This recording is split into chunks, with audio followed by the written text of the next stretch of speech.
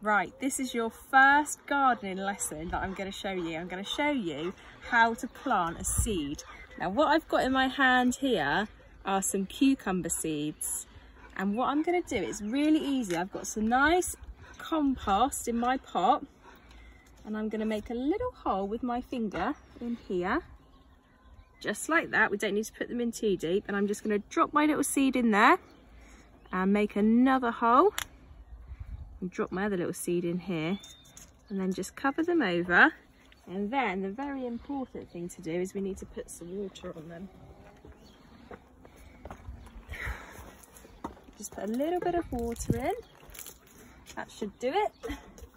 And then I'm going to keep him safe in my greenhouse but you could find a nice warm sunny spot in your garden to keep your plant safe and that is really as easy as it is. And if you buy a packet of seeds you get lots and lots so you could grow loads of vegetables.